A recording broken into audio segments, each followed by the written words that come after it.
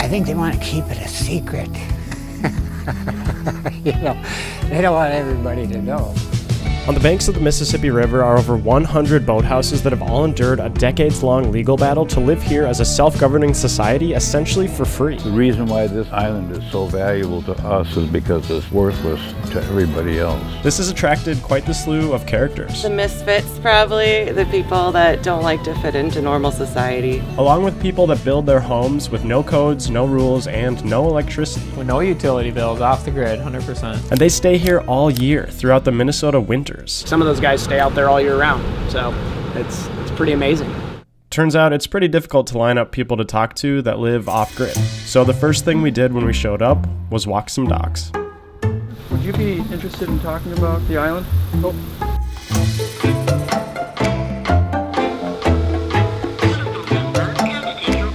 Until we were welcomed by a man aptly named Pirate Pat. Yeah, you want to talk to you a little bit? We could down in Everything's just like a mess because I. Here. No worries. Yeah. How long have you been here? I'm thinking eight years this time. I was given my spot by the Winona Boathouse Association, thankfully. Really? You Yeah. Didn't, you didn't pirate it or anything? Uh, no, I kind of did. I did. Yeah, I guess you could say that. I just kind of squatted into this position. Pirate Pat's squatting, which he started here over 30 years ago, has turned into a valuable investment. Slips like his can sell for $40,000 or more. Property aside, Pat has experienced some hardship down on the island. Is this a sketchy location then? I think so. Okay. You know, I carry, concealed carry. Mm-hmm. I have security. Right. Well, I was uh, I was attacked by my neighbor. Same one Physic- sharing a- physically and brutally. No, that's the one in that house next door. And ever since then, things have really changed. You know. Wow. So I think of my security first. But, uh, very cheap, very inexpensive lifestyle. Yeah. So I mean, with that, are you able to live on your own time more and do what you want because you have less expenses? That's why I call it like a semi-retirement. You know, I've kind of been semi-retired my whole life, but this makes it way easier to you know, live. This will slam if you. I don't know how much light you need or want, but this is it. Comes complete with uh, bedroom, everything, TV, my security system, uh, kitchen galley. You got it all right here. Everything you need. Yeah, it works for me, you know, a single bachelor. Oh, you even got you even got a camera set up. I got four of them. Nice. You Sec- the real security system. That's another reason I like to get 100% connected to the uh, solar power and that, you know, just to run certain items. Um, I did put this in, which was quite the ordeal. 22 foot uh, gin pole, they call them. But that'll keep your whole setup here if it floods Mhm. and stuff. Right, right. What about the bugs? Well, like as soon as it gets around dark, I go in the house and shut the door. I don't blame you. yeah, This guy's getting eaten up. yeah, them gnats I noticed for some reason. Yeah, I can't handle this. we just left the island to drive here to get what? The bugs are absolutely annihilating us, so we're gonna get some bug spray. After disinsecting the entire island, we ran into another resident mid construction. Oh, Thanks, man. Appreciate it. I'm Michael Harris. Harris, good to meet you. Yeah, nice to meet you. Michael showed us into his boathouse that he and his family built themselves. We're in a boat house, a home for a boat. Turned house. Turned home, yeah. And when we stood here right away, we were thinking, man, we need a big open room so that we can see the bluffs in the distance. So that's kind of what we designed it around. Merges into the kitchen over here. The one other thing we really have to watch out for is how much we use electricity. So um, 12 volt fridge and uh, we cook with propane. All the lights are LED and that's like the bulk of our energy consumption really. And then we just have one bedroom when we planned the thing out, we hadn't had the kid yet, so Michael and Chelsea are raising their child on their boat year round. So yeah, Hutch has been here his whole life. yep. What is it like having a kid here? He loves it. He loves the water. He loves going on the boat. He loves the ducks. Yeah. So I think he's just going to have a unique perspective on the natural world instead of having all the amenities. So I think there's kind of like that feels important too to kind of know where all your stuff comes from and to work for it a little bit. And then it is nice because we're so close, so we bike over a lot or boat over to get our groceries. Speaking of boating to do errands, as we were searching for another resident to talk with, we ran into this king on his houseboat. feel like a king going down. Oh yeah, I bet. That's Gertie, who has hitchhiked, train hopped, and traveled the river for years. Until he recently landed this infamous geodesic dome, which he is currently renovating, and skirting around building codes by living on the water. So as a builder, what are the different codes that you have to That's the obey, beauty you of know? boats. I mean, at least houseboats, you can really um, create whatever you want as long as it it's not deemed unsafe by the Coast Guard or you know. Right. What are the most challenging parts about living like this? Having a hot water and a shower, like we finally got that down where we collect all the rainwater and pump it up to a water tower and gravity feed to a hot water heater and stuff. But What is this community most similar to in America or around the world? I think of places like Slab City, or I think we have a similar need to kind of be left alone a little bit, but it's a completely different way of living. I mean, they're in the middle of the desert and we're in the middle of the river, and you know, but it, being in nature here, I think, is a thing that we're all relate to, you know. You're the invasive species, you know in in their environment and you're the invasive species. Yeah, I mean, well, we can, we can dip out of here if you want. Just then, something happened in the middle of our conversation that's never happened before. Gertie's neighbor waved him over to give him snacks.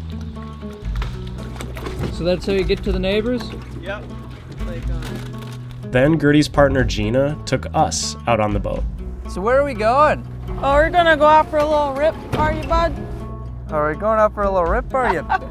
We're gonna take you guys down to the end of the island so you can get a view of all the boathouses in one fell swoop. okay, so there's 101 boathouses here? There are in total, yeah. So there can never be more than 101. And So it's maxed out. There's never going to be any more houseboats or boathouses here. no, no, and these are all boathouses, by the way. That's a good point. A houseboat is a boat with a motor that you can drive but also sleep or live in. A boat house is, well, primarily a house for a boat, but also for people that does not move. And those are what everybody on Latsch Island lives on except for Pirate Pat. We just passed the threshold. So these people have electricity. They have the potential for electricity, and most of them do. Yeah, there is there's power in the park that you can tap into. There's still no plumbing. Okay. Gina then showed us into her totally off grid, floating home, tiny house dome. It's a bit of a mess because we're in the middle of a giant project. Oh, that's the compressor going off. It'll stop in a second. We're not sinking, are we? Yeah, no, we're not sinking. No. And we'll come show you guys. Um. Um. Wanna come inside here? Yeah. Yeah. How do you handle water? I mean, you're on the water. Yeah. You're not. Are you drinking the water that you're on? No, we are not drinking the water that we're on. Um, when we haul, haul drinking water. In from the, the city nearby. Yeah, from the town. Yeah. Didn't know we were having company. Oh wait. wait. Okay. We're not looking to. There we go. That is kind of crazy. Like we're just in your bedroom and Yeah. you walk now we're out here. to this. That's that's amazing. Uh huh. Want to come, Viva? You can come. Are there community rules governing everyone living here? There's a boathouse association, um, and then beyond that, it's like um, not a whole lot of governance that happens, but there is a board that's been established for when there are issues that need to be voted on, or if the community that's on the island needs to like interact with the city council in an official way. there's like something in place to do it. And how exactly they got to this point, we're gonna need a little history. World War I caused a resurgence in river shipments along the Mississippi as other transportation methods became clogged. One of these barges, however, mysteriously sunk near the North Channel Bridge. The sunken material in the river rerouted river travelers to the south side, leaving the north, well, open to squatters, and the squatters came. In fact, throughout the 60s, many of these homes were sold for just $1. Then came a man named John Rupke. After John moved in, the Army Corps of Engineers, the DNR, and the City Council tried to remove all boathouses from the Mississippi in 1979. Fortunately, John started the Island Council, one member of which happened to be the judge that was hearing the case. Long story short, the judge ruled in their favor, and 43 years later, John is still here. Is there anything like that that's happening now? Struggles No, with no, government? no. So uh, yeah, no. After we uh, after we settled and became uh, a legitimate part of the city with the city council, uh, we were we always thought of ourselves as kind of a it was it was we wanted us like a s- self-governing operation. That's what we wanted. So this is a pretty unique spot in the world. Yeah, right, right, right. The, the, the reason why this island is so valuable to us is because it's worthless to everybody else. While they are self governing, the residents here still pay an annual fee to the city. And we pay a mooring fee. My mm-hmm. boathouse is like 36 feet. I pay around 350 somewhere in there. So the for the whole year, it's Yeah, three, yeah, about 350. So you're uh, allowed 15 feet is what you're allowed. So um, th- this is what it's supposed to be, and then the rest of the island is supposed to be wilderness. You know, we got the city to declare that this island would be left in its natural state. Well, over the years, you got people who do some stuff. yeah, they don't like wilderness as much as some of us do. John, along with other residents, felt that something strange was happening at the tip of the We'll island. have to, well, yeah, we'll check that out.